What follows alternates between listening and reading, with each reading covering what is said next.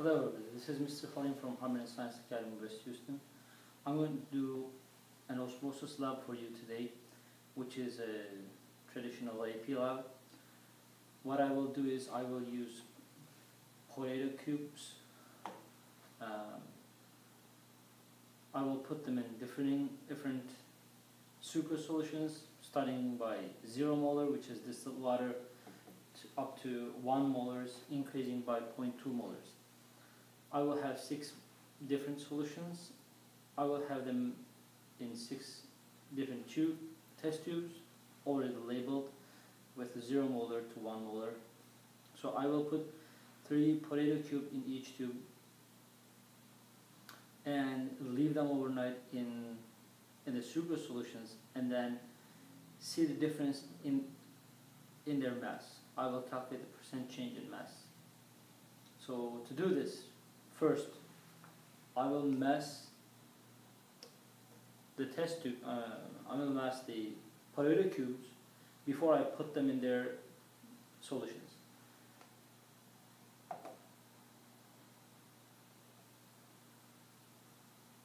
I will not talk about too much. I will not talk too much about materials and procedures. So you can find them in my website. I'll get my weighing dishes.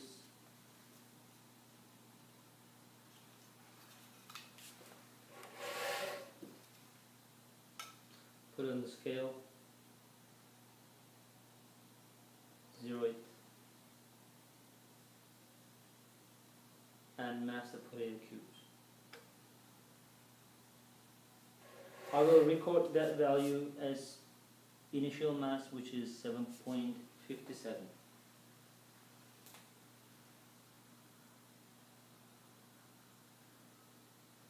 in grams and I will put it in the starting solution which is 0 molars sucrose which is distilled water actually. I will put the potato cubes in the test tube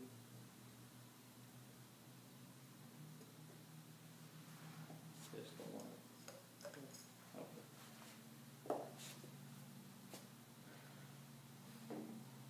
Okay. My distilled water.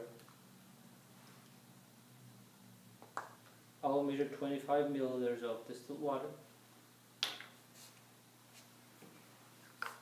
Or 20 milliliters of distilled water.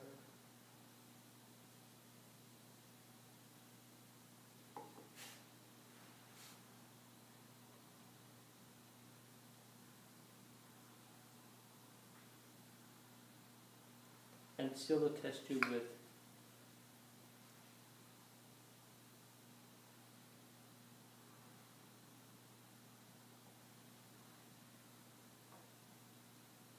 the stopper.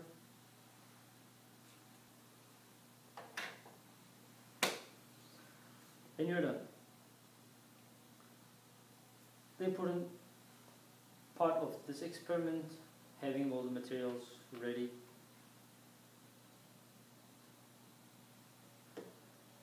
Put them in a test tube, leave them overnight, come back and mass them record their final mass values, and then calculate the percent change in mass. Put it in a graph versus concentration. That way you can see the correlation between um, concentration and osmosis rate. So we're done for today. I will set it aside, come back tomorrow and record it again when I'm as I'm massing them and then I will do the calculations in a separate video. Uh, that's pretty much it. Thank you for watching. Hello everybody. This is Mr. Halim from Harmony Science Academy West Houston. I'm going to mass the potato cubes that I have left them overnight yesterday. So I will mass them.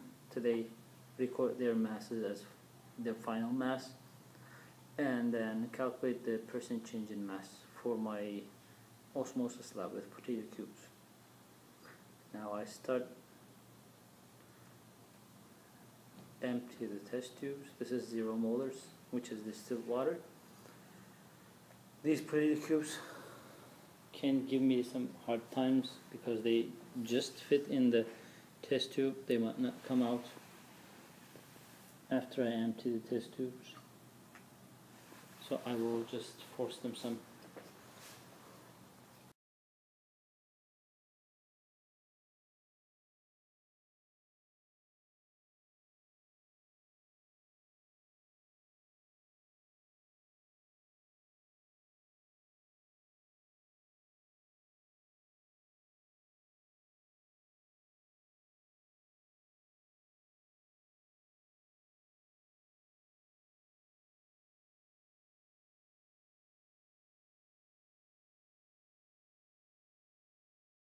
and the last one is one molars. The wing for this one. While I'm emptying this I zero the scale. I emptied it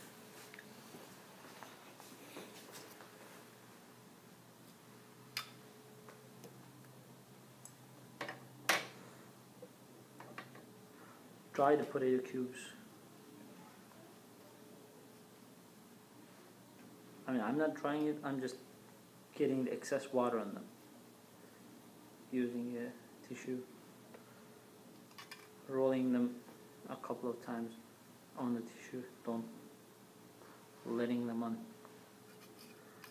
tissues so they preventing they don't drain drain their water in. It's 4.72 3 yes 4.73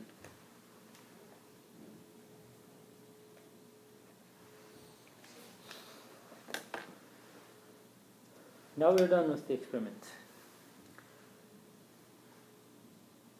After I record my data I will calculate the percent change in mass using Excel sheet and then I will put the my variables which is um, different concentration and the percent change in mass in the potato, potato cubes. I will put them in my graph try to see the correlation between changing concentrations and percent change in mass. Thank you very much for watching Harmony Public Schools.